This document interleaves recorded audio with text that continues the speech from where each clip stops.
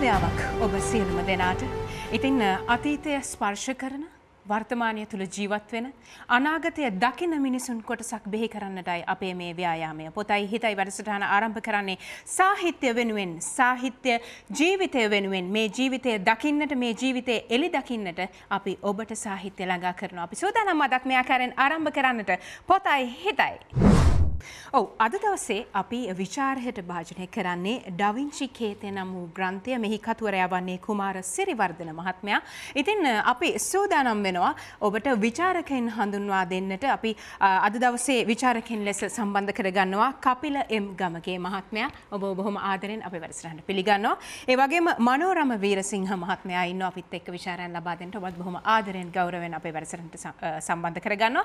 ඒ වගේම තමයි වෙනදා වගේ මේ වැඩසටහන මෙහෙවන්නේ වන්නේ සුමුදු චතුරානි ජයවර්ධන ඔබත් බොහොම ආදරෙන් ගෞරවෙන් අපේ වැඩසටහනට පිළිගන්නවා. දැන් අපි සූදානම් වන්නේ කුමාර සිරිවර්ධන නම් කතුවරයා විසින් රචිත ඩවිංචි කේතය නම් වූ ග්‍රන්ථය පිළිබඳව ඔහු දක්වන අදහස් විමසන්නට. ඇමරිකානු ලේඛක Dan Brown Da Vinci Code කියන මේ කෘතිය රචනා කරලා එලි දක්වන්නේ දෙදස් තුන වර්ෂයේදී. ඔහු ඊට පෙර නවකතා දෙක තුනක් ලියත් තිබුණත් ඇත්තෙන් මොහු එතරම් ප්‍රසිද්ධ ලේඛකකු බවට පත්වී සිටියේ නැහැ. නමුත් ඩවිංචි කෝඩ් මහත් ආන්දෝලනාත්මක නවකතා පොතක් බවට පත් වුණා.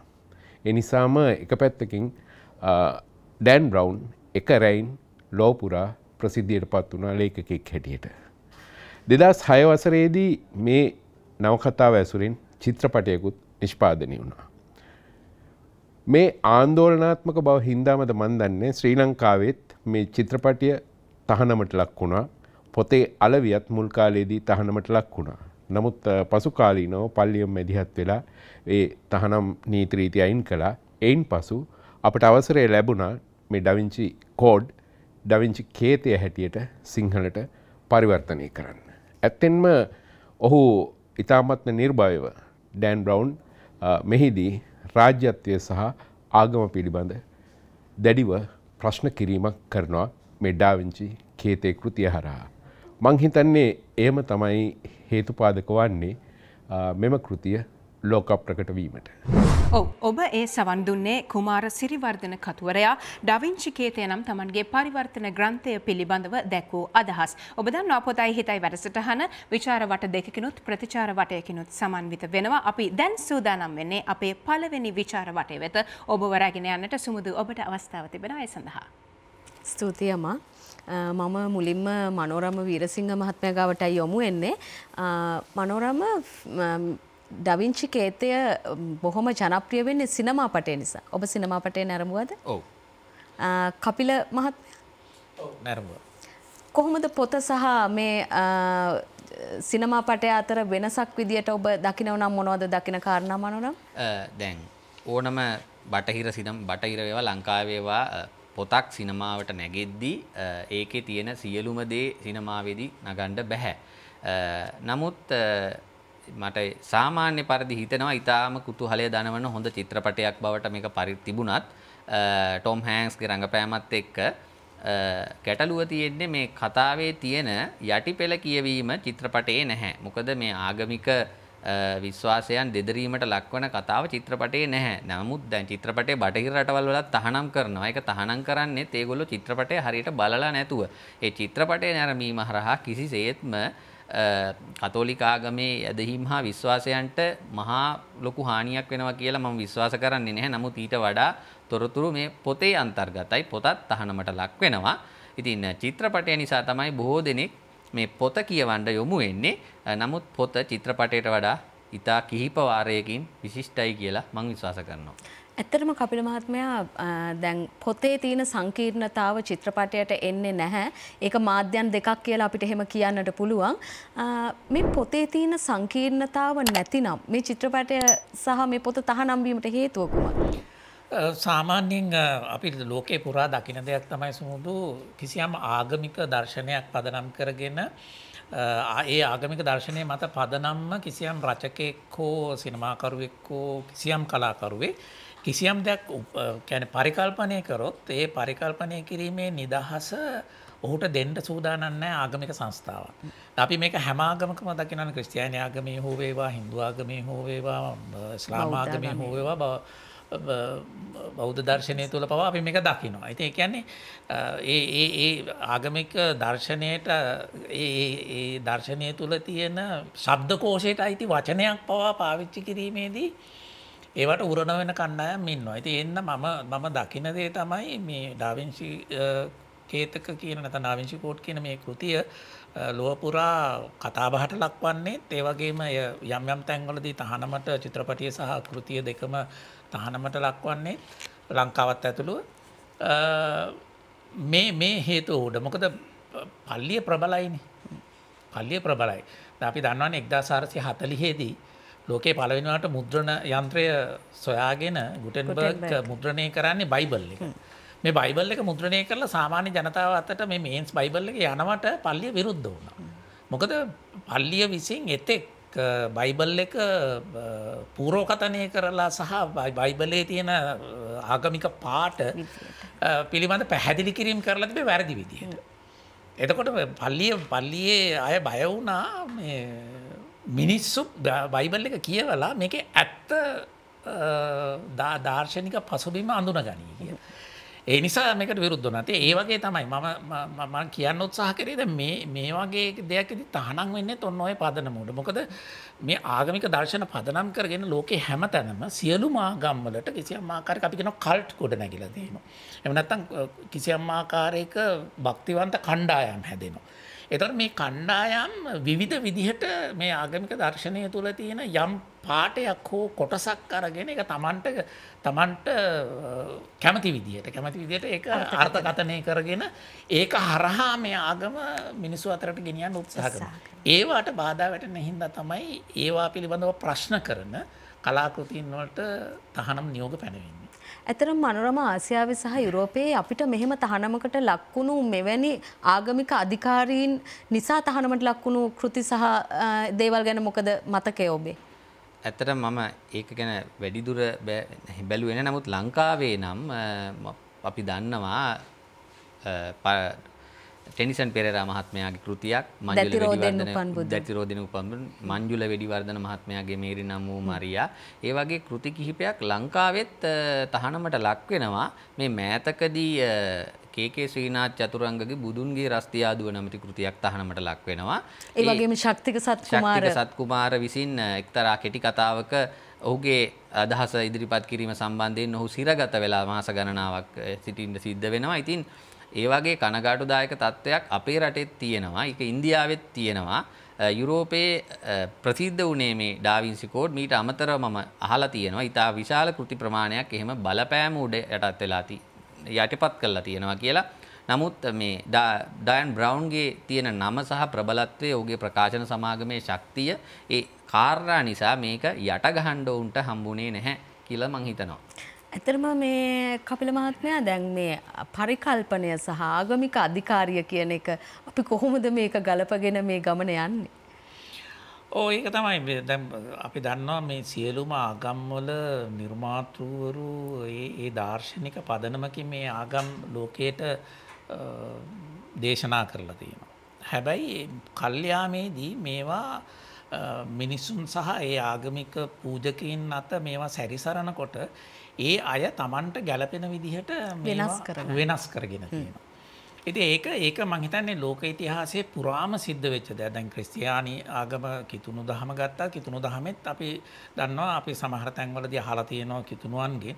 මේක මෙහෙම නෙවෙයි තියෙන ද ස්ලාමාගමේ දැන් අපි හොඳටම හොයලා බලපු දේවල් තියෙනවා. මේ කුරාන් එක මෙහෙමද කියලා. ඉතින් සමහර කියන්නේ අපි කියනවා මේ මුල් දහම දර්ශනය හදාරපු අය කියලා තිනවා නෑ හොම නෙවෙයි ඕකේ තියෙන්නේ නමුත් ඕක පස්සේ කාලෙදි වෙනස් වෙලා කියලා. ඉතින් අපි බෞද්ධ දර්ශනය තුලත් මේක දකින්නවානේ. අවිහිංසාවාදී දර්ශනයක් කොහොමද හිංසනය සඳහා භාවිතා කරන්නේ. මේ මේ හැම ආගමක්ම මර්ධනය සඳහා. හැබැයි මර්ධනය සහ හිංසනය සඳහා මේවා ආපහු පුනරුච්චානය කරගන්නවා එක එක යුගවල ඒ යුගවල සමාජ දේශපාලන පදනමට ගැලපෙන ආකාරය. ඉති ඒක තමයි වෙලා තින්නේ ඒ නිසා මේ ඩෑන් බ්‍රවන්්ගේ මේ කෘතියත් කිසියම්ම ආකාරයකට අපි දන්න දෙයක් තමයි කිතුුණු දහම කිතුුණු දහමේ තිබුණු යම් යම් ලබ්දීන් පිළිබඳව ප්‍රශ්න කිරීම් කරන. ප්‍රශ්න කිරීම් කරලා ඒවායි තියෙන මිත්‍යාමය ස්වභාවය මේ නවකාදාරතුලින් එලියට ගන්න හු උත්සාහ කරනවා. මහිතන ඒකම තමයි ආපහු පෙරලා මේ කෘතියට සහ මේ කෘතිය පදනම් කරගෙන කරපු අනෙක් නිර්මාණවලට එරෙහිව නැගී සිටින්. මේ ආගමික බලාධිකාරිය මේ කෘතියට බලෙන් ඔබ්බපු තැන් වගේ දැනෙන තැන් තියෙනවද මනොරමට. නැහැ ඇත්තටම නැහැ මොකද මේ මේ ආගමික බලාධිකාරිය දැන් ලංකාවෙනම් කියන්න පුළුවන් ප්‍රසිද්ධිය ජනප්‍රියත්වය මොනවා හෝට් පාදක කරගෙන තමයි ඇතැම් ලේඛකයෝ මේ ආගමික කටයුතු යම් රැඩිකල් ගතියක් පෙන්වන්න තමයි පාවිච්චි කරලා තියෙන්නේ. නමුත් ඩෑන් බ්‍රවුන් එහෙම මේ ආවට ගියාට ඒ දේවල් පාවිච්චි කරලා නැහැ. මොකද ඔහු වටා ඉන්නවා ඊටා විශිෂ්ට පරේෂණ මණ්ඩලයක්. මොකද මෙයා පුටුවක් උඩ ඉඳගෙන පොත ලියන්නේ නැහැ. එක් එක් අයට පැවරුරු රාජකාරී තිනවා. කතෝලික කතෝලික ගෘහ නිර්මාණ ශිල්පය එක්කෙනෙක් හදාරනවා. තවත් එක්කෙනෙක් හදාරනවා කතෝලිකයන් ඉතිහාසය සම්බන්ධ පුරා විද්‍යාව සම්බන්ධව එක්කෙනෙක් හදාරනවා. තවත් කෙනෙක් ඔවුන්ගේ ඉපැරණි ලිය කියවිලි ගැන හදාරනවා. ඊළඟට තවත් එක්කෙනෙක් සංකේත සංකේත විද්‍යාව ගැන තවත් කෙනෙක් හදන්න. මේ ඔක්කොම කතාවක් ලියන්න අවශ්‍ය වුණා මේ අවශ්‍ය වස්තුව අදාළ සම්පත් සියල්ලම මේ මණ්ඩලය විසින් ඩෑන් බ්‍රවුන්ට සපයනවා. ඔහු තමයි ඊට පස්සේ මේ තොරතුරු ඇතුලෙන් ලියන්නේ. ඉතින් ලංකාවේ ඩාවින්චි කෝඩ් පරිවර්තනය කරාම මේක ලෑන්මාර්ක් පරිවර්තනයක් කියලා මම දකින්නේ ලංකාවේ පළවෙනි පරිවර්තනය තමයි මිනිස්සු කියවීමෙන් පස්සේ යමක් හොයලා බලන්න පොළොඹවපු පළවෙනිම පරිවර්තන කෘතිය. කිසිම කෙනෙක් කියවුවට පස්සේ දැන් මෙතු කුමාර් සිරිවර්ධන මහත්මයන් පරිවර්තනය කරපු නොත්‍රදාමයේ කුදාගෙන නොත්‍රදාම් දේවස්ථානය ගැන හෙව්වට එතනින් එහාට කවුරුත් හොයන්නේ නැහැ. ඉතින් නමුත් මේ ඩාවින්චි කෝඩ් එකේ මේ මුල් ඉලස්ට්‍රේටඩ් එඩිෂන් එක මාගාව තියෙනවා. මේ කෘතිය සම්පූර්ණයෙන්ම සකස් කරලා තියෙන්නේ මේ පොතේ තියෙන සිදුවීම් වලට අදාළ සංකේත රූප දේවස්ථාන අදාළ චිත්‍ර ඒ සියලුම දේවල් අන්තර්ගත කරලා. ඉතින් කියවන කෙනාට ඊටාම විශිෂ්ට නිවැරදි දැනුමක් ලැබෙනවා. ඉතින් මේ පොතේ තියෙන කාරණා කිසිවක් වැරදි කියන්න බෑ. නමුත් ප්‍රබන්ධමය කාරණාවක් තියෙනවා.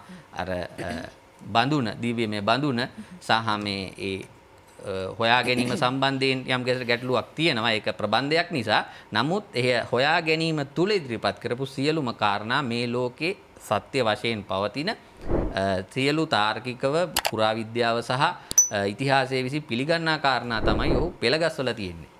ඇත්තරම කපිල මහත්මයා මම මෙහෙම නිරීක්ෂණයක් කරොත් ඔබතුමා එකඟ වෙනවද? ප්‍රබන්ධමය ගති අඩුයි කියලා?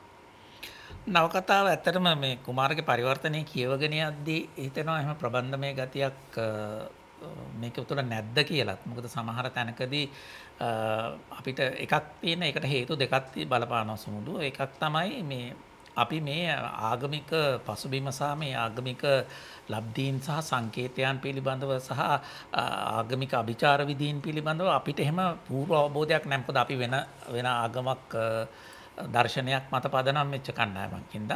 ඒ නිසා කිසියම් ආකාරයක ඔබ කිව්වාකාට ප්‍රබන්ධමය ගතිය මදිද කියලත් හිතෙනවා.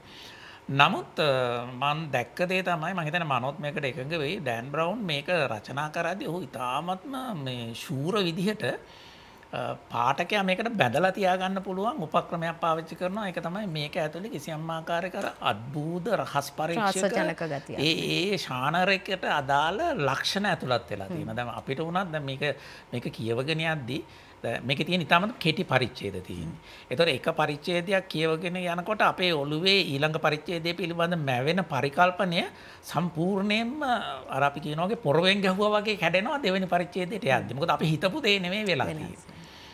ඉති මංහිතන ඒ නිසා අර ප්‍රබන්ධමය ස්වරූපය කැන කිසියම් ආකාරයක කෙනෙක් ගොත් කිසියන් කටෝර ගතියක් තිබුණාද? නැත්තම් මේක තුළ නිකන් අර අපි අපි ගත්තොත් විෂය පොතක් කියවනවා වගේ ආගමික පොතක් කියවනවා වගේ එහෙම දැනුණාට නමුත් පාඨකයා එක දිගට මේ පොතත් එක රඳව ගන්න අර අර ඔහු භාවිතා කරන ඒ ශානරමය ලක්ෂණ කියන්නේ අద్භූත රහස් පරීක්ෂක වගේ ඒ ලක්ෂණ පුදුමාකාර විදියට බලපානවා. ඉතින් හැබැයි මේ මම ඇත්තටම මේකේ මුල් පොතද මනෝ නම් මේකේ මුල් පොත කියවලා තියෙනවා. නමුත් මම මුල් පොත කියවලා නැති නිසා මම දන්නේ නැහැ පරිවර්තනයේදී ඒක වෙච්ච අඩුපාඩුවක්ද කියලා. හැබ මට එක දෙයක් කියන්න පුළුවන් අර ඔහු භාවිතා කරන මේ ප්‍රබන්ධමය උපක්‍රමය උපක්‍රමය අපිට අපිව මේ නවකතාවෙන් ගලවන්නේ නැහැ මේ කියවන්න ගතම් දිගටම කියවන්න හිතෙන විදිට රචනා වෙලා තියෙන. මනුරම ඔබ මුල්කෘතිය කියවපු කෙනෙක් විදියට දැන් මේ කියන අප කියන මේ පර්යේෂනාත්මක ගතිය ඇවිල්ලා තියෙන්නේ පරිවර්තනය පමණක්ද මුල්කෘතියත් තියෙනවා? මුල් කෘතිය ඒ විදියට මේ විස්තර තියෙනවා.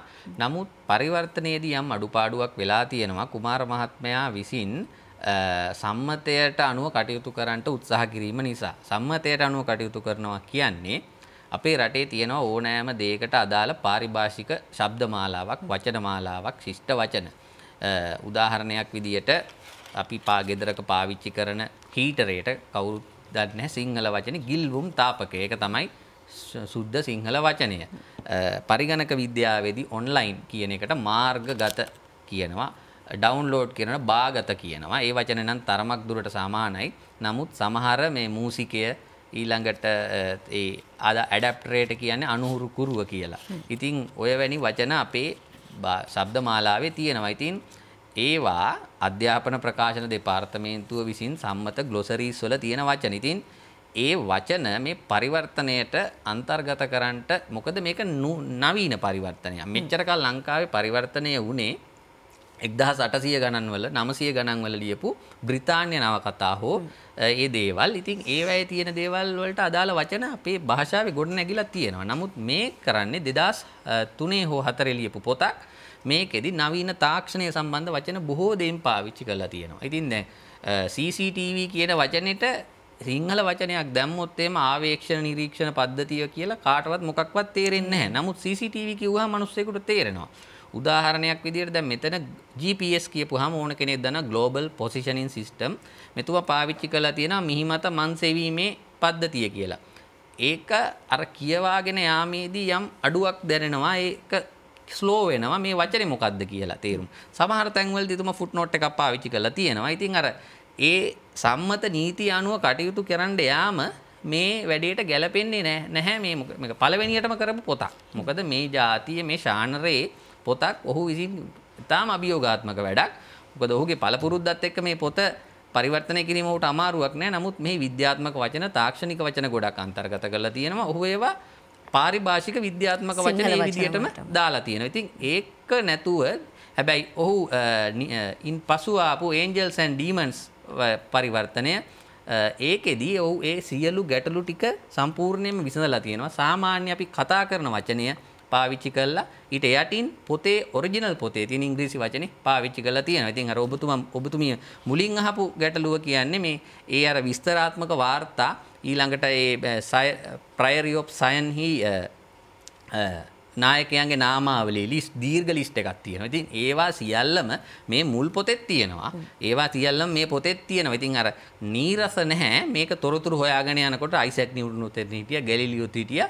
මේ කතා සියලුම ඇත්ත. ඉතින් මේක කියවද්දි ඊළඟට කියවන්න ඕනේ ඒන්ජල්ස් ඇන්ඩ් ඩීමන්. නිරය නිරේ මත මතකද නිරේ කියලා පරිවර්තනය කළා තියෙනවා එතුමා විසින්ම.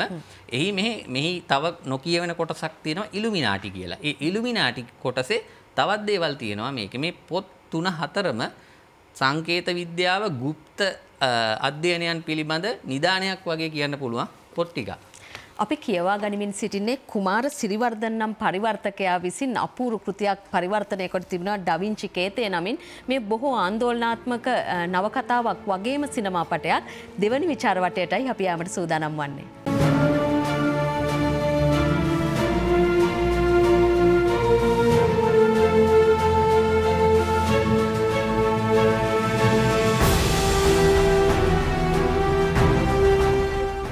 ඩවිංචි කේතය පිළිබඳව කපිලම් ගමගේ මහත්මයත් එවගේම මනුරම වීරසිංහ මහත්මයත් විචාරයන් ලබා දෙමින් සිටිනවා. ප්‍රතිචාර වටය වෙත යන්නට කලින් අපිට තවත් විචාර වටයක් ඉතුරු වෙලා තිබෙන ආරම්භ කරන්නට. සුමුදු අපි බලමු මේ විචාර වටේ මේ විචාරකයන් කුමක්ද පවසන්නේ කියලා ඔබට අවස්ථාව තිබෙනවා. දෙවෙනි විචාර වටය ආරම්භ කරන්නට. ස්තුතියි අමා කපිල් මහත්ම අපි මනොරම බොහොම හොඳ තැනකට අපි අරගෙනාව මේ පොතේ පරිවර්තන කාර්ය ගැන. මේකෙදි පාදක සටහන් කියන ඒවා ගැන. දැන් අපි ශාස්ත්‍රීය පොතකදී පාදක සටහන් අවසානයේ කියවන්නට පුරුදු වෙලායින්. මෙහි ඒ තැන තැන අපිට පාදක සටහන් වෙනම දාලා තියෙනවා. සමහර විට මුල් කෘතියේ තරම්ම නොවුනත් අපිට සමහර දේවල් වල අර්ථය ගන්න බැරි කමක් වගේ දෙයක් හැඟෙනවා. මොකද්ද මේ ගැන හිතන්නේ? මේක දුර්වලතාවයක්ද? එහෙම නැත්නම් මගහැරගන්න බැරි දෙයක්ද මේක මේ කෘතියේ තියෙන ස්වභාවය අනුව. ඔව් ඇත්තටම මම හිතන්නේ පොදුවේ ගත්තාම පරිවර්තකයේ මුහුණපාන අභියෝගයත් ඕක තමයි. මොකද එක එක හේතුවක් තමයි කිසියම් වෙනත් භාෂාවකින් වෙනත් සමාජ සංස්කෘතික පරිසරයක් ඇතුලේ නිර්මාණය වෙච්ච දෙයක් අපේ භාෂාවට පරිවර්තනය කළ අපේ සංස්කෘතික සමාජ පරිසරයට අපි කියන ඇඩප්ට් කරනකොට ඒක හරි අභියෝගයක්. මොකද දැන් අපි කොහොමද මේක තේරුම් ගන්නේ? දැන් අපි අපි අපි හුඟක් දේවල් තේරුම් ගන්නේ අපේ සමාජ පරිසරයට අවට සමාජය. අවට සමාජයත් එක්කනේ අපි ඒක තේරුම් ගන්න උත්සාහ කරන්නේ. එතකොට ඒ වගේ දෙයක් තේරුම් ගන්න තේරුම් ගන්න කොහොමද කියන තේරුම් ගන්න විදියට පරිවර්තනය කරගන්නේ කොහොමද කියන එක තමයි තියෙන අභියෝගය. ඒ නිසා තමයි සමහරු අනුවාදය, අනුවර්තනය ඔය ආදී විවිධ නම් වලින් මේ පරිවර්තන කාර්යය නියැලෙන්නේ. මම හිතනවා කුමාරටත් මේ අභියෝගය මේ විදිහටම එන්න ඇති. මොකද මේකේ හුඟක් තියෙනවා මේ පැරණි පැරණි ස්ථාන නාම ආගමික නාම ඊළඟට පල්ලි අපි ගත්තොත් ඉතිහාසයේ යම් යම් කාරණා එතකොට මේවා මේවා ආපහු ගන්නකොට දැන් සිංහල පාඨකයා මේක කියවද්දී එයාට ඒ ඒ පසුබිම පිළිබඳ කොයිතරම් දැනුමක් තියෙනවද කියන එක හරියට බලපානවා.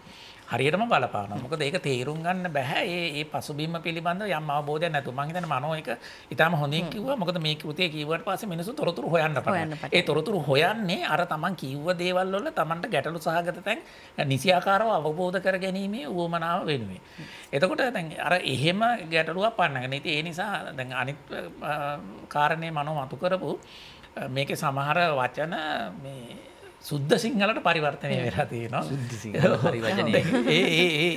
ඒක යම් ආකාරයක ප්‍රශ්නයක් වෙනවා. දැන් අර කිව්ව බැරි වුණා නීලියන් සිස්ටම් එක කියන එක දැන් හුඟ දෙනෙක් දන්න ඒ ඒ විදිහටමයි දන්නේ. ෂෝට් කෝඩ් එකෙන්ම දන්න මේකත් ඉතින් කෝඩ්ස් පිළිබඳ කෘතියක් නිසා මට හිතෙන කුමාරට එහෙම දාන්න තිබුණා. කියන්නේ GPR ක්‍රමයෙන් මාර්ගය සොයාගෙන ගිය කතන්දරේ එහෙම දාන්න බර අර විදිහට පරිවර්තනය කරාම සමහරට ඒ වචනේ හොයාගන්න අපිට ආය වෙනවම ගලොසරිය එකක් හොයාගන්න වෙනවා. ඒක හරියට හරියට ගත්තොත් එහෙම අර යුනිවර්සල් ජොයින්ට් එක සර්වලෝක පුට්ටුව වගේ පරිවර්තනය වුණා වගේ වැඩක් වෙනවා. මොකද දැන් මිනිස් ගෙද ගරේජ් එකේ බාසුන් අය දැන් යුනිවර්සල් ජොයින්ට් කියලා. ඒ මනුස්සයාට මම ගිහිල්ලා කිව්වොත් එහෙම මගේ වාහනේ සර්වලෝක පුට්ටුවේ සද්දයක් එනවා කියලා ඒ මනුස්සයා උඩුබිම බලනවා. එතකොට අර එහෙම එහෙම පරිවර්තනය කරන්න ගියාම එහෙම ප්‍රශ්නයක් එනවා. හැබැයි මම දන්නේ නැහැ කුමාර මොන මොන විදිහට හිතලාද ඒක එහෙම කරේ කියලා. ඇත්තටම මනෝරම බය වුණාද පොතේ තියෙන සමහර දේවල් වලට ලේඛකයා බය වෙන්නත් ඇති. මොකද හේතුව මේ පරිවර්තකයා බය වෙන්නත් ඇති. මොකද හේතුව ඔහුත් බෞද්ධයෙක් ඔහු විසින් මේ මේක ඉදිරිපත් කිරීම කතෝලික සමාජයට කොයි විදියකට බලපෑමක් කරයිද කියලා. මොකද අපේ කතෝලික සමාජයේ එහෙම යුරෝපයට වඩා බොහොම බුද්ධිමත් කතෝලික සමාජයක් ලංකාවේ ඉන්නේ. මොකද මේ ඒ වගේ මේ වගේ සිල්ලර කාරණාවලට උන් කැළඹුන්නේ නැහැ. නමුත් ලේඛකෙක් පරිවර්තකයෙක් විදියට ඔහු අත තියන්නේ යම්කිසි තිගස්මක් ඔහුට තියෙන්න ඇති. හැබැයි ඔහු මේ මේ කිතුුණු දහම වටා තිබුණු බොහෝ දේවල් ඉතාම හොඳින් අධ්‍යයනය කළ තිබුණ මොකද කතෝලික දහමෙන් ගොඩක් කාරණා ගැන හොඳට කියෝ කියවන් නැතුව මේක පරිවර්තනය කරන්න බැහැ. මොකද මේක අසංක්ෂිප්ත පරිවර්තනයක් විදියට ඔහු ඉදිරිපත් කරන්න උත්සාහ කරලා තියෙනවා. මොකද ඔහු සමහර කෘති අනුවාදයට ලක් කරනවා චුට්ටක් මම ඒක ගැන කියන්නම්. ලංකාවේ පරිවර්තන දල වශයෙන් ක්‍රමවේද හතරකට කරනවා. එකක් අනුවාද. අනුවාද කියන එකේදී කතාවේ සියලුම දේවල් වචන සිදුවීම් රූඩි උපමා ඒවා ඒ ආකාරයෙන්ම තිබිය යුතු නැහැ. විස්තර වර්ණනා අපේ රටට ගැලපෙන්නේ නැත්නම් ඉවත් කරලා දැමීමේ අයිතියක් කියලා එකක් නැහැ. නමුත් එහෙම දෙයක් තියාගෙන ඒ අනුවාදයට ලක් කරන පුද්ගලයා ඒක කරනවා. උදාහරණයක් අපි කිව්වොත් මුනිදාස් සෙන්රත් යාපාසූරීන් විසින් අපරාධය හා දඬුවම කියන කෘතිය දැවැන්ත කෘතියක් එය අනුවාදයකට ලක් කරලා තියෙනවා. ඊට පස්සේ එම කෘතිය අසංක්ෂිප්තව පරිවර්තනය කරලා තියෙනවා රංජිත් ධර්ම කීර්ති සූරීන් විසින්. ඉතින් එහිදී යම් පිටු ගානකුත් වැඩිලා තියෙනවා කාරණා අමුතුවෙන් එක් වෙලා තියෙනවා. නමුත් සරුබිම වුණත් එහෙම කෘතියක්නේ. ඉතින් වැඩේ තියෙන්නේ ඒ සරුබිම කලින් සේනාරත්න විරසිංහ පරිවර්තනය කරන කලින් ඌරාපොළ හේමාලෝක සහ හාමුදුරුවොත් සහ හෙම්පාල විජේවර්ධනයන් විසින් හඳුන්වා දීලා තිබුණා සංක්ෂිප්තව. එයත් අනුවාදයක්. සංක්ෂිප්තත් නෑ. කෘතිය අනුවාදයක්. එහිදී පාවිච්චි කරන වචන බොහොම සිංහල ඌරුවට තමයි පාවිච්චි තියෙන්නේ. ලෙනාඩ් වුල්ෆ් මහත්මයාගේ බද්දගම කෘතියත් පරිවර්තනය කරලා තියෙන සිංහල ඒ කියන්නේ එයාගේ වචන වලට වඩා අපේ සංස්කෘතිය වචන දාලා තියෙනවා. චාල්ස් ඩිකන්ස්ගේ ග්‍රේට් එක්ස්පෙක්ටේෂන් රොමාගේ වාසනාව කියලා දාලා තියෙන්නේ අපේ වචන දාලා ගොඩක් විදියට කැරකෝප්පුව කියලා පාවිච්චි කරන්නේ සමහර තැන්වලදී. ඉතින් ඒක අනුවාදකයාට රිසි පරිදි එතන ඒක අනුවාදයකට වඩා අනුවර්තනයක්. ඒක ඇඩප් කරනවා අපේ සමාජයට. රොබින් හුඩ් ඩේවිඩ් කරුණාරත්න සූරින් පරිවර්තනය කරද්දිත් ඒ අනුවර්තනයට ලක් කරනවා අපේ වචන විදිහ කෝරාල කියලා පාවිච්චි කරනවා. මොකද එංගලන්තේ කෝරාලලා හිටියේ නැහැ. ඉතින් ඒවා අනුවර්තන ඒ ඒ සිදුවීම් චරිත ඒ අදාළ අපේ රටට ගැලපෙන විදිහට දාන ඒවා අනුවර්තන ඊට පස්සේ කෑලි කපලා කතාව විනාශ කරන්න නැතුව දාන ඒවා ටික අනුවාද සංක්ෂිප්ත කියන්නේ ගොඩක් වෙලාවට දෙන්නෙක් ඊටාම කතා සාරය විතරයි අරගන්නේ ලංකාවේ විශිෂ්ට සංක්ෂිප්ත පරිවර්තනයක් විදිහට සලකන්නේ මනුතාපේ කෘතිය ඊරිය ගොල්ල මැතිතුමාගේ. ඉතින් ඒක මුල් කෘතියේ විදියට මේ බැලුවොත් පිටු බොහොම සීමිත ප්‍රමාණයක කෘතියක්. නමුත් ඒ ඊටාම ලස්සනට සිද්ධ කරලා තියෙනවා. නම් ඒ වගේම සාමාන්‍ය පෙළ උසස් පෙළ විෂය නිර්දේශවල තියෙන සියලුම කෘතීන් ගත්තොත් මිල් on the floss ගත්තත් hound of baskerville ගත්තත් ඒවා සංක්ෂිප්ත කෘති තමයි කියවන්න දෙන්නේ. අසංක්ෂිප්ත දෙන්නේ නැහැ ඉතින් ඒ සංක්ෂිප්ත කෘති පරිවර්තනය කරලා කියවලා මම මේ පොත කියවුවා කියන එකත් වැරදි. මොකද ඒකේ සම්පූර්ණ කතාව සිදුවීම් ඒ දේවල් නැහැ. ඒ වගේම කුමාර සිරිවර්ධන මහත්මයා කරපු නොත්‍රදාමේ කුදා ඒ වගේම දෙනුවර අන්දරය මට නම් මතක නැහැ එතුමා පාවිච්චි කරපු නම ඒ කෘති ඔක්කොම එතුමා අනුවාද විදියට කරන්නේ. මොකද වික්ටෝරියානු සමාජයේ පල්ලි ගෘහ නිර්මාණ ශිල්ප රාජ්‍ය පාලනය ගැන ඉතා දීර්ඝ විස්තර සඳහන් වෙනවා. ඒවා ඇත්තටම ඒ කාලේ ලේඛකයා සඳහන් කරාට ඒ කාලෙට වටිනවා වුණාට දැන් ඒක අපිට කිසිදු වටිනාකමක් නැති තොරතුරු. ඉතින් ඒ දේවල් ඒ විදිහටම පරිවර්තනය කළ යුතුයි කියලා මම විශ්වාස කරන්නේ මොකද දැන් පරිවර්තන ක්‍රමවේදය ඉස්සරට වඩා වෙනස්. මොකද දැන් කේජී කරුණාතිලක වගේ මහත්මයෙක් අපි හිටපු ශ්‍රේෂ්ඨතම පරිවර්තකයෙක් එතුමා පාවිච්චි කරන්නේ අසංක්ෂිප්ත ක්‍රමවේදය. එතුමා වචනයක් රූඩියක් වාක්‍යයක් ඒ විදිහටම ඒ ආකාරයෙන්ම පරිවර්තනය කරනවා වාසනාවට එතුමාට හම්බ වුණේ තාම පැරණි නවකතා.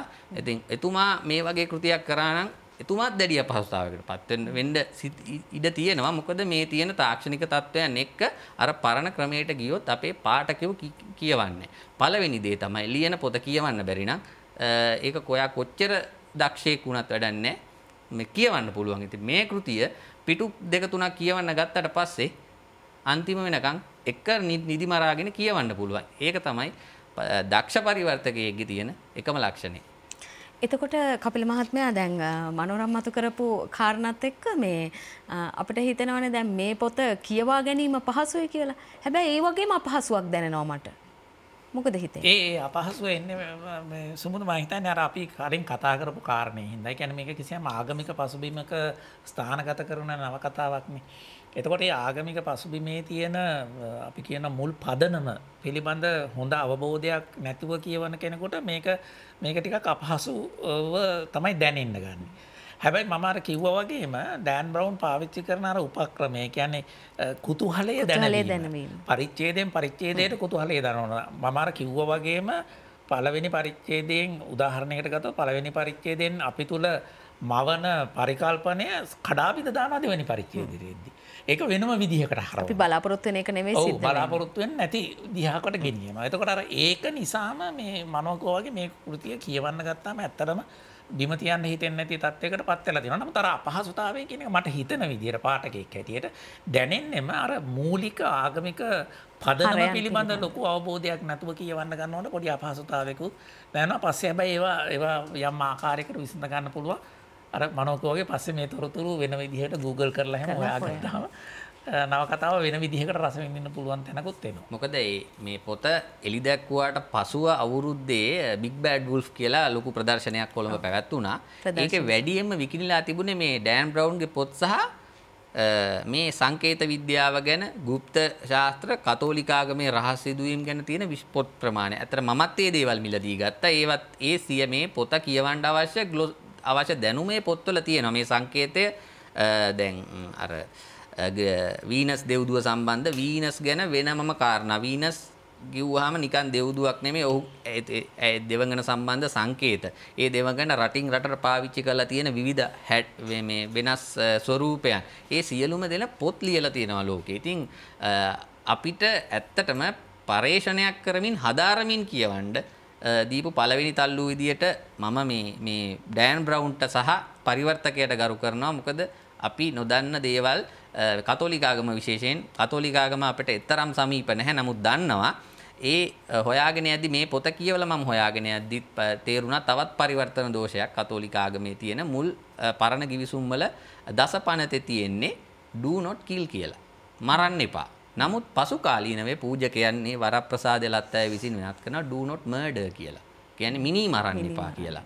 ඉතින් බුදුන් වහන්සේ කියන පානාතිපාතාම කියලා තියෙනවා ඒ දසපනතෙත් තියෙනවා. ඉතින් මේ කාලයට යද්දි දැන් ඒ වගේම බයිබලයේ සහ ඒ අදාළ කෘති 60 ගණනම කියවද්දී අපිට හම්බ වෙනවා යම් යම් කාරණා කාලයත් එක්කම ඔවුන්ගේ පරිණ වෙනස් වෙලා. ඉතින් හැමදේම අනිත්‍යයි කියනවා වගේ මේ දේවල් වෙනස් වෙලා තියෙනවා. ඒ වෙනස් වෙලා තියෙන්නේ පූජක පක්ෂයේ අවශ්‍යතාවය උඩ. ඒක අපේ බුදු දහමෙත් වර්තමානයේ සිද්ධ වෙනවා. මොකද වර්තමානයේ බුදුන් වහන්සේ දේශනා කළ ත්‍රිපිටක ධර්මය නෙමෙයි බොහෝ මේ භික්ෂූන් වහන්සේ විසින් කපිල මැතිතුමා කිව්වා වගේ ඉන්ටර්ප්‍රීට් අර්ථකථනය කරනවා තමුන්ට ඕන පාට තමුන්ට ඕන විදියට දැන් එක් භික්ෂුවක් කියනවා තම තමා අරහත් බව කියනවා. මොකද අරහත් බව කීම ඊටාම දක්ෂ මාකටිං උපක්‍රමයක්. ත්‍රිපිටකයේ කිසිම තැනක අරහත් කෙනෙක්ගේ ස්පෙસિෆිකේෂන්ස් මෙයා මෙහෙමයි කියලා සඳහන් වෙලා නැහැ. ඒක නිසා ඕන කෙනෙකුට කියන්න පුළුවන් තමුන් අරහත් කියලා. ඒ වගේම ඊට ඉහළ භික්ෂු මණ්ඩලයකට ප්‍රශ්න කරන්නත් බෑ. මොකද ඒගොල්ලෝ දන්නෙත් නැහැ මොනවාද අරහත් කෙනෙකුගේ ලක්ෂණ කියලා. ඉතින් ඒ වගේ ඊටාම හොඳින් බයිබලය මේව හෝ ත්‍රිපිටකය හෝ උපනිෂද් ග්‍රන්ථ හරි ඒ කෘති හදාරපු කෙනෙකුට ඉතා විශිෂ්ට නිර්මාණ කරන්න පුළුවන්. මොකද මේවා අස්සේ ඉතාම වටින දේවල් සැඟ වෙලා තියෙනවා.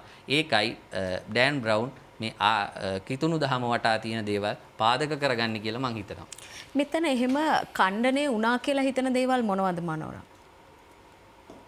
දැන් මේ කතාවේ සම්බන්ධයෙන් නම් මේ කණ්ඩනය වෙලා කියන්නේ ඔහු මතයක් ගොඩනගනවා ජේසුතුමන්ගේ විවාහ වී සිටියා මරියා මග්දලේනා සමග. ඔහුගෙන් ඇයට දරුවෙක් ලැබෙන්න හිටියා. දියණියක් තෝ දියණියක් ලැබෙන්න හිටියා.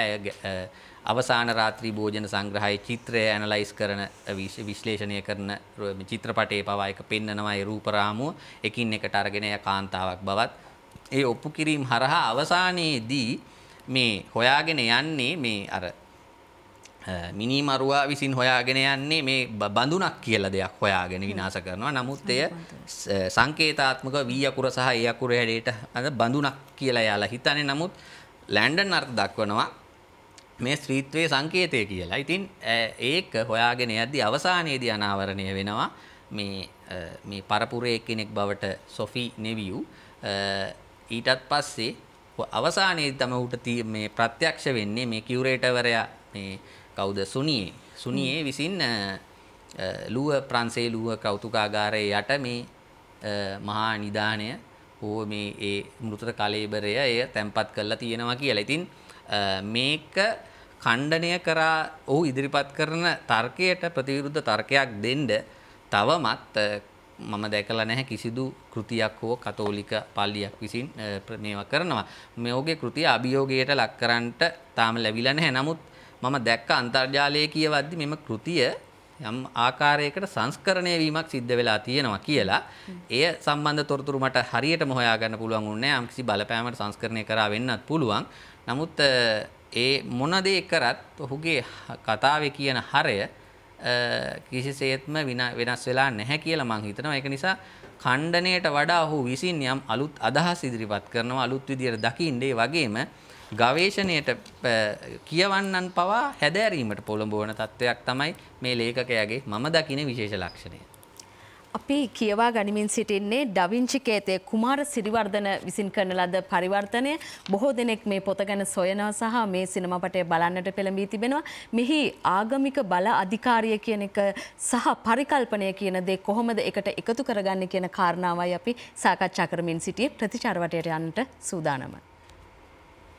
ඔව්. ස්තුතියි සුමුදු. ඉතින් කපිල එම් ගමගේ මහත්මයත් මනෝරම වීරසිංහ මහත්මයත් කුමාර සිරිවර්ධන පරිවර්තකයාගේ ඩවිංචි කේතය නම් පරිවර්තන ග්‍රන්ථය පිළිබඳව මේ ආකාරයෙන් තමයි විචාර ගෙනෙන්නේ.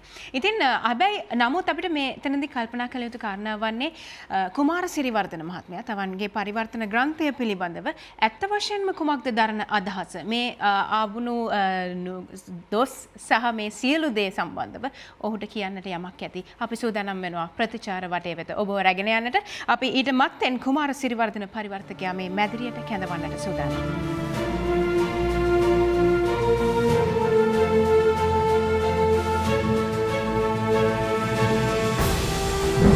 පොතයි හිතයි වැඩසටහන තුළ විචාර වට දෙකක අවසානයකින් අපි ප්‍රතිචාර වටයට රැගෙන යනටයි සූදානම් වෙන්නේ කුමාර සිරිවර්ධන පරිවර්තකයා අපිත් එක්ක දැන් මැදිරිය තුළ ඉන්නවා. අපි ඔබ බොහොම ආදරයෙන් ගෞරවයෙන් පොතයි හිතයි වැඩසටහනට පිළිගන්නවා. මං හිතන්නේ තසාවධානව අහන් හිටියා බලාගෙන හිටියා. අපි සියලු දෙනාම නැරඹුවා මේ විචාරවට පැවැත්වුණු ආකාරය ඔබ දුටුවා. කියන්නට බොහෝ දේවල් ඇති. ඉතින් අපි සූදානම් වෙන්නේ ප්‍රතිචාර වටය වෙත රැගෙන යන්නට. ඔබව සුමුදු ඔබට අවස්ථාව තියෙන අය සඳහා. ස්තුතියමා කුමාර සිරිවාදන අපිතින් කුමාර අයියා කියලා කියන්නේ. පත්තර කලාව ඇතුළේ කුමරයි අපිට හම්බෙනකොට කියනවා බොහොම සරල භාෂාවක් භාවිත කරන්න ඕනේ. පුවත් පත ඇතුළේ පාටකයා රඳවා ගන්නට අමාරුයි අපිට ගුරුහරුකම් දෙනවා. මේ පොත ඇතුළේ පොඩි දැඩි විදක්ද භාෂාවකට යනවා පාරිභාෂිත වචන සමග.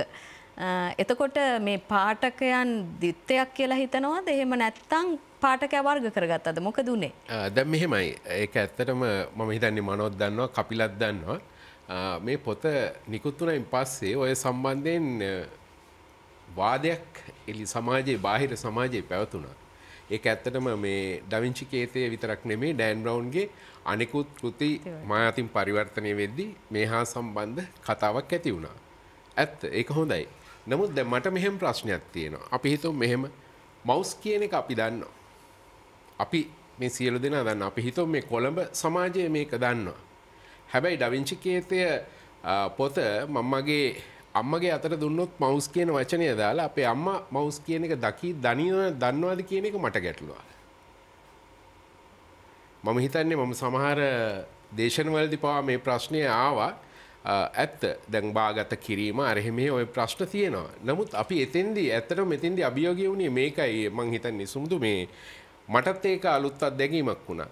පාටකින්ටත් අලුත් අත්දැකීමක් වුණා. පාටක ලෝකයට ඇත්තට මේක අලුත් අත්දැකීමක් වුණා. මේ වගේ වචනත් එක්කලා අපි කොහොමද ගනුදෙනු කරන්නේ කියන එක. දැන් මම ඒ කිව්ව කාරණාවම දැන් මේක පරිගණක විද්‍යාව ගැන නොදන්නා පුද්ගලයෙක් මූෂිකය කියන එක හෝ එහෙම නැත්නම් මවුස් කියන එක. මේකට අපි මොකද කරන්නේ? අපි මූෂිකය කියලා එහෙම ඒකට යටින් පල්ලෙහායි මවුස් කියලා අපි දානවද? හැබැයි මවුස් කියලා අපි පාදක සටහන දැම්මත් අර විෂය නොදන්න කෙනෙක් මම කියන්නේ අපේ පරම්පරාවලට ඉස්සෙල්ලා පරම්පරාව හරි අපේ පරම්පරාවෙම සමහර අය සමහරලාට මේ අලුත්ම පරම්පරාවේ අය පවා මේ විෂය කරලා නැත්නම් ඒක දන්නේ නැහැ. ඒක මෙව්වගේ කෘතියකදී මං හිතන්නේ පැන නගින ප්‍රශ්නයක්. එතුට මනෝරම එකඟ දේකට දැන් සමහර වචනදී එකගන එක නොවන එක කාරණයක් තින මොකද හේතුව මෙතුමාගේ ඒ ආපු යම් යම් වාද යම් චෝදනාව ඒ දවස්සල මේක කියල. නමුත් ඔහු නිරේ නිරේ නැමති කෘතියේදී ඔහුට ඒ සම්බන්ධයෙන් කිසිදු චෝදනාවක් එල්ල වුණේ නෑ. උදාහරණයක් විදිහට මේ නම් ගම් පවා එතුමා සාමාන්‍ය උච්චාරණයට තමයි. දැන් සෝනියරේ කියලා තමයි දාලා තියෙන්නේ.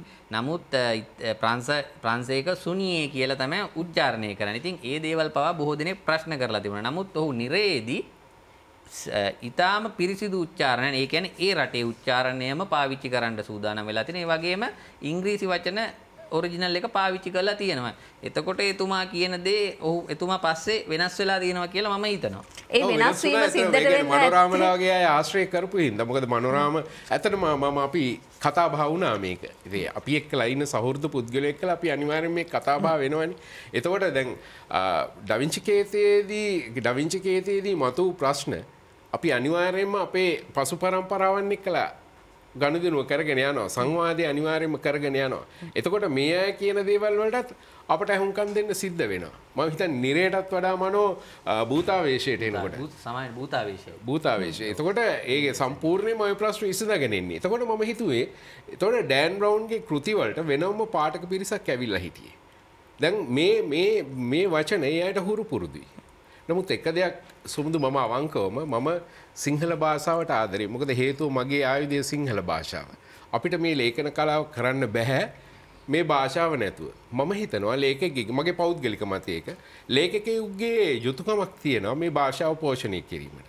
ඒතකොට භාෂාව පෝෂණය කිරීම සඳහා රාජ්‍ය භාෂා දෙපාර්තමේන්තුව සහ අධ්‍යාපන දෙපාර්තමේන්තුව මැදිහත් වෙලා කිසියම් පාරිභාෂික ශබ්දමාලාවක් මේ හදලා තියෙනවා නම් එයටත් අප ගරු කළ යුතුයි කියා මම විශ්වාස කරනවා. එතකොට කපිල මහත්මයා හෙළ හවුල ගැන අපි කතා කරොත් දැන් මේ භාෂා ප්‍රශ්නය ආව නිසා මේ කෙටියෙන් මේ අපි සමහර වචන අපිට ඊලියන්ද සිල්වා සිප්වදන් තැනීම ඊලියන්ද සිල්වා දෙන වචන සමහර ඒවා අපිට තේරෙන්නේ නැතුව යනවා සහ අපි අතිම ප්‍රතික්ෂේප වෙනවා. එතකොට මේ කෘති දැන් මේවා කියවිය යුතුයි මේ නව පරම්පරාව කිය යුතුයි. මේ අයගෙන් මේ ටික ඈත් වෙයිද මේ පරිභාෂිත වචන සෙල්ලමත් එක්ක ඈත් වෙයිද? එහෙම නැත්නම් අපි ඒක භාවිත නොකිරීම නිසා භාෂාවට අපෙන් අවඩක් සිදු වේද? මොකද ඔබේ අදහස? ඕ ඒක තමයි ගැටලුව ද ඕනෑම භාෂාවක් සමුදු මං හිතන්නේ මේ වැඩෙනවා හැම වෙලේ මේක එක තැන නවතින්නේ නෑ කාරිටර සංස්කෘතිය වගේම තමයි. සංස්කෘතියත් වැඩෙනවානේ සංස්කෘතිය වැඩෙනවා සංස්කෘතිය ගලා ගලනවා. භාෂාවක්කුත් එහෙමයි. දැන් අපිට මේ ලෝකයේ ඕනෑම භාෂාවක් අපිගෙන ශුද්ධ භාෂාවන් සොයන්ට බැහැ. ඒ භාෂාවන්ට වෙනත් භාෂාවලින් යම් යම් දේවල් එකතු වෙලා තියෙනවා සමහරලාට අපි එතෙක් පාවිච්චි කරපු සමහට වදන් අයින් වෙලා තියෙන අකුරු අයින් වෙලා තියෙන ඒ විදිහට භාෂාව ඉස්සරහට වැඩෙන. ඒ නිසා මම මම හැබැයි විශ්වාස කරන දෙයක් තමයි එක පැත්තකින් පාඨකයෙක් හැටියට අනිත් පැත්තේ ලියන්නෙක් හැටියට. මම විශ්වාස කරන දේ තමයි භාෂාවේ වැඩෙන ස්වරූපය. ඒ කියන්නේ මේ මොහොතේ භාෂාවේ වැඩෙන ස්වරූප අනුව යම් යම් දේවල් භාවිතා කරාට ඒකේ ඒකේ ප්‍රශ්නයක් වෙන්නේ නැහැ කියලා. ඒක කියන්නේ භාෂාවට එක හානි කර නැහැ කියන එක. මොකද දැන් ඔබ උපුටා දක්වපු ඉලියන්ද සිල්ලා මහත්මයා විදුලි බලය සම්බන්ධව ගොඩනගපු යම් යම් ශුද්ධ සිංහල වදන් අද පාවිච්චි වෙන්නේ නැහැ දුරකතනයටම කියන වචනය අපිතින් පාවිච්චි කරන්න නැහැ පාවිච්චි කරන්න නැහැ ඉතින් අර විදුලි මේනුව විදුලි පේනුව ඔය ආදී වශයෙන් දේවල් දැන් පාවිච්චි කරන්නේ නැහැ. මොකද දැන් දැන් සිංහල භාෂාවට අරක හුරු වෙලා තියෙන. දැන් ලියන කෙනෙක් වුණත් ප්ලග් එක අයන් එක. එහෙමනේ පාවිච්චි කරන්නේ. අර එක කියන ප්‍රත්‍ය දාගෙන තමයි පාවිච්චි කරන්නේ දැන්. බස් එක කාර් එක. ඒවනේ පාවිච්චි කරන්නේ. මේවා වෙන භාෂාවකින් එන එන දේවල්. මම මම හිතන්නේ වඩා වඩා අවබෝධ කර ගැනීමේ පහසුව තියෙනවා අපිට යම් විදිහකට සමීප වචනය ඒ සමීප වචනය පාවිච්චි මොකද හුඟක් තාක්ෂණික වදන් අපිට මේ කැන ලෝකේ සන්නිවේදන තාක්ෂණය දියුණුවීමත් එක්කම ඒ තාක්ෂණය දියුණුවීමත් එක්කම ඒක ඒකේ බලාධිකාරිය දරන්න ඉංග්‍රීසි භාෂාවනි. එතොට මේ ඉංග්‍රීසි භාෂාවෙන් ගෙන සමහර වදන් අපිට සිංහලට පෙරලන්න බැහැ. පෙරලුවහම වෙන වෙන තේරුවෙන් අර මංකිව්හගේ අර යුනිවර්සල් ජොයින් කතාවම තමයි.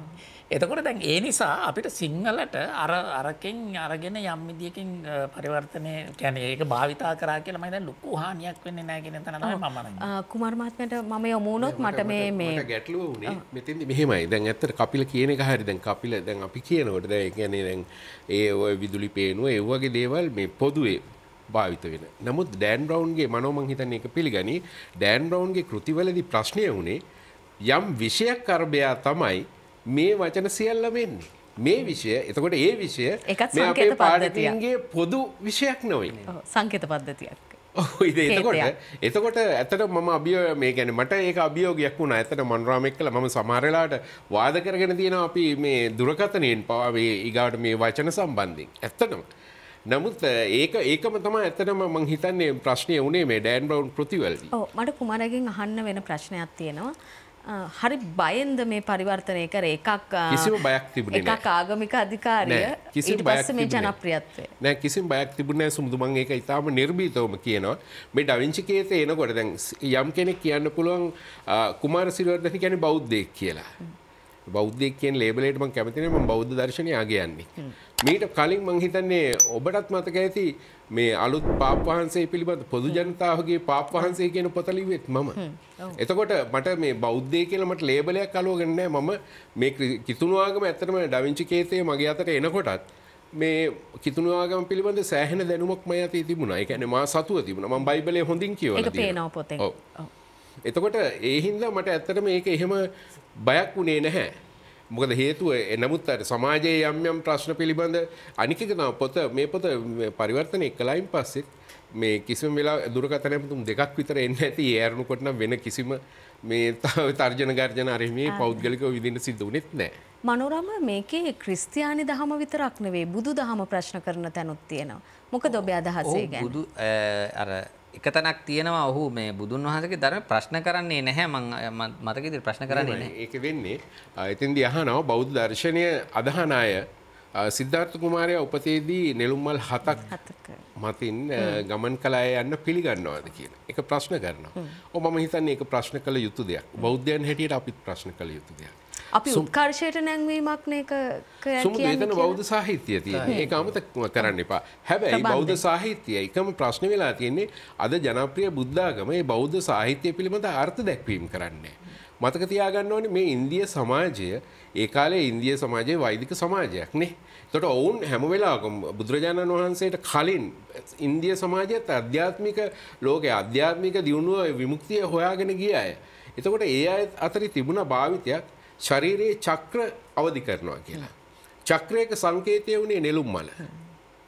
ප්‍රාණයාම වගේ භාවනාව. භාවනාවන් ඒ කලා. එතවට සිද්ධාර් මේ අයගේ පිළිගැනුමත් තිබුණා සිද්ධාර්ථ කුමාරය උපත ලද්දේ මේ චක්‍ර හත අවධි කරගෙන මේ කියලා. අන්න ඒහින්ද තමා නෙළුම්මල් හත කියන සංකේතය ආව කියලා මම දන්න තරමට.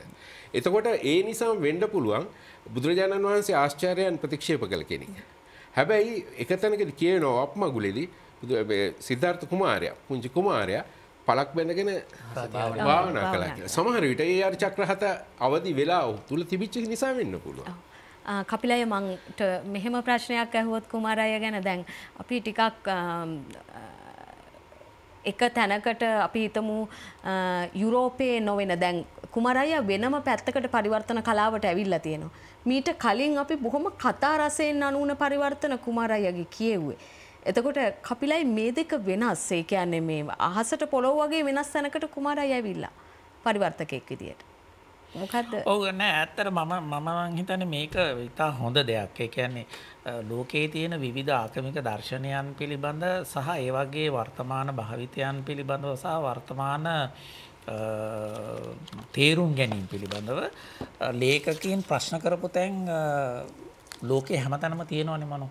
එතකොට මම හිතන්නේ දැන් කුමාර මේ අතගහපු දේ තුල ඒක හරි වටිනවා. ඒ කියන්නේ කිතුණු වෙන කෙනෙක් දහම- අත ගහන්න නැති එක. කිතුුණු දහම තුළ තිබුණු යම් යම් ලබ්දීන් යම් යම් නිකායන් ඔවුනේ නිකායන් ප්‍රායෝගිකව භාවිතා කරපු වුවමනාවන් මොනවගේ දේවල්ද ඒ තුළ තිබ සාහසිකකම් මොනවද කියන එක පිළිබඳව මේ ඩවිංචිකෝ කේතය කියන කෘතියේ පැහැදිලි කරන එතකොට දැන් ඩෑන් බ්‍රවන්ගේ මේ මේ පැහැදිලි කිරීම සහ ඩෑන් බවන්ගේ මේ ප්‍රශ්න කිරීම ප්‍රශ්න කිරීම සිංහල භාෂාවෙන් අපිට කියවන්න සැලැස්වීම ජයග්‍රහණයක්. ඉතා ලොකු දෙයක් මොකද සාමාන්‍ය වෙනත් වෙනත් ප්‍රබන්ධ කතාවක් කුමාරතින් පරිවර්තනය වෙනවට වැඩිය මේක වගකීම් සහගත වැඩක් සහ මේක ඇතුළෙන් අ, පාඨක සමාජය තුළට එන උත්තේජනය වෙන විදිහ එකක්. ඒකන්නේ දැන් මනෝ නිතරම කිව්වදේ අර මේක ඇතු මේක මේක කියවට පස්සේ කිතුුණු දහම පිළිබඳව සහ ඒක යම් යම් කාරණා පිළිබඳව හොයන්න පෙළබැවීම. මහිතන ඒක හොඳයි අන්තර්රාගමික අධ්‍යයනය. ඔව්. මේ පිම්ම ගැන කුමරයට මොකක්ද හිතෙන්නේ පිචාරකයෙක් යම් වෙනස ගැන පූර්ණයක් දෙන්නම් මොකද කුමාර සිරිවර්ධන මහත්මයාගේ පොත් ලයිස්තුව බලපුවාම ඔහු පරි සැබෑ පරිවර්තකයෙක් කියලා මම දකින හේතුව පුනක් භවය ගැනත් ලියලා තියෙනවා. ලොබ්සන් රම්පාගේ චිත්ත දේවල් ගැනත් ලියලා තියෙනවා. ජොආනත් ලියලා ජොආනත් ලියනවා. ඊළඟට නිල් නිල් සේද ඇති නිල් නිල් ඇඳ ඇතිරිල්ල. වගේ කන්තපුර වගේ සම්භාව්‍ය මට්ටමේ කෘතිත් කරනවා. ඒකම මේ ඩාවිංචි කේතය වගේ අමුතුම තාක්ෂණික කතා ආගමික මේ මත ගැටුම් නිර්මාණය වෙනවත් කතාගෙන ඇත ඔහු ෂර්ලොක් හෝම්ස් කතාත් ලියලා තියෙනවා. රහස් පරීක්ෂක කතාත් ලියලා තියෙනවා. මොකද සමහර අය මම එහෙම කිව්වේ රහස් පරීක්ෂක කතා චුට්ටක් පල්ලෙහා තියෙනවා වගේ කියලා කියන නිසා. මොකද ඔහුගේ නවකත්ත පරිවර්තන නාමාවලියේ පොත් 100 ගාණක් පමණ තියෙනවා සියල්ල විවිධයි. ඉතින් ඒ ඒ පුවත්පත් කලාවේදී ඔහු වෙනම චරිතයක්. ඔව් වෙනම චරිතයක්. ඊළඟට දැන් මම මෑතකදී මා ඔහු අවුරුදු 30කට පමණ පෙර මුතුහර සංග්‍රහයේදී ලියපු විද්‍යාත්මක ලිප- ලිපියක් මම කියවුවා. එහිදී ඔහු කිසිදු බරපතල වචනයක් පාවිච්චි නොකර මම ඒකයි ඔහුගෙන් අර ප්‍රශ්නේ තිසලා බරපතල වචනයක් පාවිච්චි නොකර ඔහු ඒ අ, විකිරණ අ, පිපිරීමක් සම්බන්ධ සිදුවීමක් මුතුහරේ පිටු තුනක් තිස්සේ ඉතාම අපූර්වට ඒ දේ විස්ත- විස්තර කරලා තියෙනවා. ඊට පස්සේ මම අන්තර්ජාලයෙන් ඒ ලිපිය හොයාගෙන බැලුවා රීඩර්ස් ඩයිජෙස්ට් සංග්‍රහයේ ගිය ලිපියක පරිවර්තනයක්. ඒ ලිපියේ තියෙන කාරණා වලට වඩා සිංහල කයකේ කාරණා ඇතුල් වෙලා තිබුණා. ඒ කියන්නේ ඔහු ඒක පරිවර්- භාෂීය ලොකු ඉතාම සම්පූර්ණ දැනුමක් දීලා තිබුණා ඒකෙදි. ඉතින් ඒ දැන් ඔහුගේ මම වැදග ගරු කරන්නනේ සරලත්වය කියන එකට. මොකද ඔළුවේ බරපත් සමහර අය පරිවර්තනය කරන දේවල් කියවන්න අමාරුයි. ඉතින් කියනවා මේක ඉතා විශිෂ්ට පරිවර්තන කියලා පළවෙනි වාක්‍යය තේරුම් ගන්නම පැය භාගයක් විතර යනවා. හැබැයි ඉතින් ඒක වචන පටලවලා තියෙන්නේ. මේක තමයි මේ ශෛලිය කියන මේක ආවල් ලතින් ඇමරිකානු ලේඛකයාගේ ශෛලිය මේක අරයා මෙහෙම තමයි ලියලා තියෙන්නේ. ඒ විදිහටම තමයි සිංහලෙන් ලියන්නේ. අනේ අර මිනිස්සයාගේ ඉංග්‍රීසිය කර හෝ ඒ ලතින් ඇමරිකන් එක බලපුවාම මේක හරිම සරලව ඔහු ලියලා තියෙනවා. අපේ කෙනා එක පටලලා දාලා තියෙනවා. ඉතින් ඒ වගේ අවස්ථා අපි අත්විඳලා තියෙනවා. ඉතින් මෝ- මෙතුමාගේ මම දකින්න දේ තමයි අර එක එක පරිවර්තකෙක් හැම වෙලේම භාෂා දෙකේ සාහිත්‍ය දැනගන්න ඕනේ. ඉංග්‍රීසි දැනගත්තට බෑ. ග්‍රැමර් ටෙන්සස් දැනගෙන හරියන්නේ නැහැ. ඉංග්‍රීසි සාහිත්‍ය දැනගන්න ඕනේ.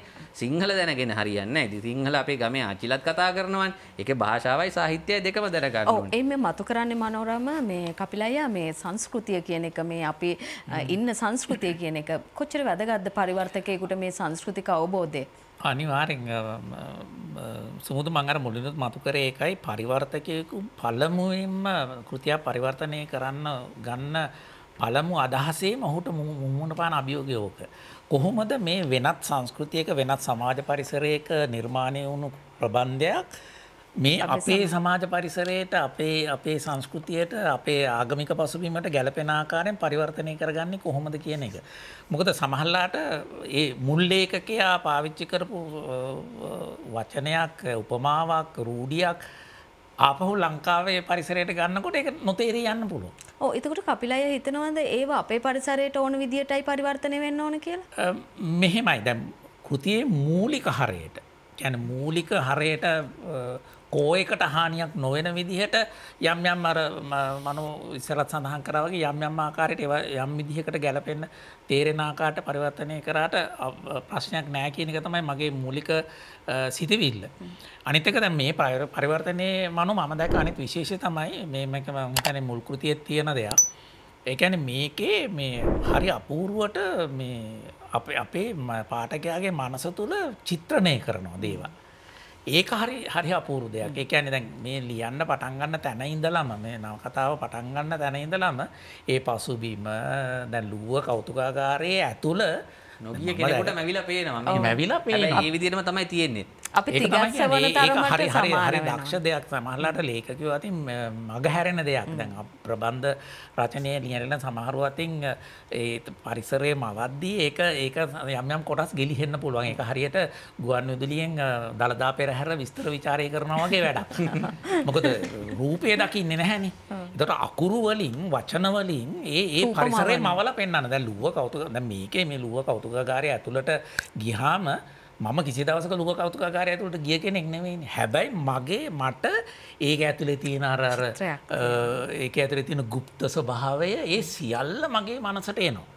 එති මංකයන ඒක හරි විශිෂ්ට දෙයක්. ඒැන මනු කියන ආකාරයට මුල්කෘතියත් ඒක තියෙනවා. ඒක නොනසා අපිට දැනෙන්න සලස්සන්න කුමාර සමත් වෙලා තියෙනවා. ඉතින් මේ- ඒක හරි විචිත්‍රයි. දැන් මේකේ හරි මං හරිම ආසම අවස්ථා සිද්ධියක් තමයි මේ ලැංඩන් සහ සොෆී අර පැනල යන වෙලාව. ඒ පැනල යන සිද්ධිය පිටු පස්සේ අපි අපි එලවනවා. අපි අපි ඔවුන් පිස ඔවුන් පිටු පස්සේ එලවනවා අර ප්‍රංස පොලිසිය එලවනවා. ඒ විදිහට තමයි මේක පරිවර්තනය වෙලා තින්නේ. ඒක හරි හරි අපූර්වයි. ඒ කියන්නේ පාඨකයාට මේක අත්හරින්න හිතෙන්නේ නැහැ. දැන් මේගොල්ලෝ කොහාටද යන්නේ? රේල්වේ ස්ටේෂන් එකට යනවද? ටැක්සි ස්ටෑන්ඩ් එකට යනවද? දැන් කොහොමද ගන්නේ? පිටිපස්සෙන් සයිරන් වදිනවා ඇහෙනවා. ඒතකොට අපි තුල ඉතින් මං හිතන්නේ මේ චිත්‍ර පොඩි චිත්‍රපටමයම ගතියක් චිත්‍රපටි නැහැ. මිනිස්සුන්ට ජනප්‍රිය වෙන්නේ මම ওই හින්දා. ඒ කියන්නේ ඒක ඇතුලේ තියෙනවා අර අර රහස් පරීක්ෂක කතාවක අ, තානේ. ඉතින් ඒ නිසා ඒක ඔස්සේ තමයි පාඨකයා මේකට අ, මේ අනිත් සියලු කාරණා ද- ද- ද්විතීයක කරලා මූලිකව අරකත් පිටිපස්සේ මේ නව කතාව කියවන්න පෙළඹෙනවා. කුමාරය මේ දැන් මතු කරපු කාරණයක් තමයි අහගෙන ඉන්නත් ඇති ඉස්සෙල්ලා අ, මේ පාදක සටහන් කියන ඒවට මොකද කරේ කියන එක. දැන් මූලික අ, පොතේදී මුල් කෘතියේදී අපි පාදක සටහන් වෙනම කියවනවා. ඊට පස්සේ මේකෙදී අපිට පුංචි විස්තරයක් එක්ක ඒ වෙලේ වගේ දෙයක් අපිට කෙටියෙන් එහෙම වෙනවා. මොකද්ද මේකට මොකද්ද මේ පාවිච්චි කරපු උපක්‍රම? නෑ, මෙහෙමයි ඒක ඇත්තටම මහිතන් ඩවිච්චිකේතට වඩාම නො ඊට පස්සේ ඊට පස්සේ ආපු මේ භූතාවේශය වගේ මොකද හේතුව ඇත්තටම දැන් මම ඔබට කිවන ඒක ඇත්තන මගේ පසු පරම්පරාවත් එක්කල මං හැම වෙලාවකම සංවාදයේ ඉන්නේ. එතකොට දැන් මනෝල වගේ අය මට මේකෙදි කියපු මේ කියපු දේවල් සියල්ලම අ, ඔළුවට අරගෙන තමයි මම ඒක කරේ. මොකද පාදක සටහනේදීත් ඇත්තට මං හිතන්නේ පාඨකයාට කියවීමට බාධාවක් සිද්ධ වෙනවා. මේක උඩින් කියවලා ආපහු මේකේ පාදක සටහන කියවන්න වෙනවා. නවකතාවකදී විශේෂයෙන් නේ අපි ශාස්ත්‍රීයකදී මම අර සමහර වෙලාවට ඒකම තව දෙයක් මං කරා පාරිභාෂික ශබ්දමාලාවේ ඒ වචනයත් යෙදුවා අනික් වචනයත් යෙදුවා ඒක මේ පැහැදිලි කිරීමත් එක වාක්‍යයට මම අරගෙන කෙටි. කරානේ. ඔව්. ඒක ගැලවීමටද කරේ දැනුවත් කරනවා. ඇත්තටම මගේ යුතුයකම වෙන්නේ පරිවර්තන කෘතියකදී හෝ ඕනෑම නවකතාවකදී ඕනෑම එකකදී. මං හිතන්නේ සුමුදු අපි හැමෝගෙම අපි තුන් හතර දෙනාගෙන. අපේ මේ පාඨකයන්ගේ සහ අපිත් එක්කලා ඉන්න පිරිසගේ බුද්ධිය දශමයකින් හරි කියන්නේ යුතුයකමක් කියලා. ඒකෙදි කෙටි වුණාද කියන එක අපි අහන්නේ. අපිට විස්තර මදි වුණාද කියන එක. පොතේ මේ කියන්නේ මුල් කෘතියේ කිසිම දෙයක් අඩු වෙලා නැහැ. ආ, මම හිතනවා ඒ කියන්නේ මට හිතෙන විදිහට යම් කෙනෙකුට තේරෙන්න පුළුවන් විදිහට අර පාදක සටහන පුළුවන් තරම් කෙටි කරලා ඒ අයට තේරුම් ගන්න පුළුවන් විදිහට මම එතන යො- යොදලා තියෙනවා. අපි කියවා ගනිමින් සිටියේ කුමාර සිරිවර්ධන කියන අපේ ජ්‍යෙෂ්ඨ පරිවර්තකයා පරිවර්තනය කරන ලද ඩවින්චි කේතය කියන මෙන්න මේ කෘතිය. ඔබ මේ ගැන බොහෝ දේ අසා ඇති කියවා නැතිනම් කියවා ගන්න ඔබ වෙනස්ම ලෝකයකට කැන්දාගෙන යනවා නිසකයි. ඔව්. ස්තුතියි සුමුදු. ඩවිංචි කේතය නැමති පරිවර්තන කෘතිය කියවා ගන්නට කියලා අපි සියලු දෙනාම ඔබට ආරාධනා කරනවා. සාහිත්‍ය මෙයයි සාහිත්‍යය. අපි පොතයි හිතයි වැඩසටහන තුළින් රැගෙනෙන්නට වෑයම් කරන්නේ මෙයයි. ඉතින් ඒ නිසා අපි ඔබට ආරාධනා කරනවා අ, මේ සාහිත්‍ය කියවා ගන්නට කියලා. ඉතින් කුමාර සිරිවර්ධන කියන ජේෂ්ඨ පරිවර්තකයා අ, බොහොමින්ම ස්තුතියි ඔබට. මේ සියලු දැනුම මේ සියලු රසඥතාවය මේ අපේ සහෘදයන් වෙත රැගෙනට සහෘදයක් කියනකොට මතක් වුණේ මේ සියලු දෙනා සහෘදයන් ඔබත් ඇතුළුව මේ සියලු දෙනා සහෘදයන් සමසිත ඇත්තන් විදිහට අපි දකිනවා මේ සියලු දෙනා හිතන පතන විදිය එකක් නිසා මේ සමාජය මේ ලංකාව තුළ මේ සාහිත්‍යය තව තවත් ගෙන යන්නට ඉදිරියට රැගෙන යන්නට අපිට ශක්තිය ලැබෙයි කියලා අපි විශ්වාස කරනවා. කෙසේ වෙතත් කුමාර සිරිවර්ධන ඒ ජේෂ්ඨ පරිවර්තකයාට බෙහෙවින්ම ස්තුතිවන්ත වෙනවා. අද අපි ක- සාකච්ඡාවට භාජනය කරේ ඩවින්චි කේතය නම් පරිවර්තන ග්‍රන්ථයයි. ඉතින් අපි තවත් අ, අලුත්ම ග්‍රන්ථයක් සමගින් නැවතත් ඔබ හමු වෙන්නට බලාපොරොත්තු වෙනවා. අද දවසේ අපිත් එක්ක විචාර සඳහා එකතු වුණේ කපිල එම් ගමගේ මහත්මයා. ඔබට බෙහෙවින්ම ස්තුතියි අපිත් එක්ක මේ පොත හිතයි වැඩසටහන සමග සම්බන්ධ වීම ගැන. ඒ වගේම මනෝරම වීරසිංහ මහත්මයා බොහොම ස්තුතියි ඔබට. ඉතින් මේ සියලු දෙනාට ස්තුතිවන්ත වෙන ගමන් සුමුදු චතුරානි ඔබටත් බෙහෙවින්ම ස්තුතියි අපිත් එක්ක මේ ආකාරයෙන් වැඩසටහන මෙහෙව්වට. ඉතින් අපි ලබන සතියේ නැවතත් නැවුම් අත්දැකීමක් සමගින් ඔබ හමු වෙන්නට බලාපොරොත්තු වෙනවා. ප්‍රාර්ථනා කරනවා සුබ සතියක්. Thank you